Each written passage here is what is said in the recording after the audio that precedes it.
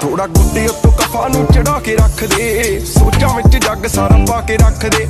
ਕੰਨਾਂ ਵਿੱਚ ਨਿੱਤੀਆਂ ਨਾ ਪਾਈਆਂ ਗੋਰੀਏ। ਮੁੱਛਿਆਂ ਤੇ ਅੱਖ ਨੂੰ ਖੜਾ ਕੇ ਰੱਖ ਦੇ।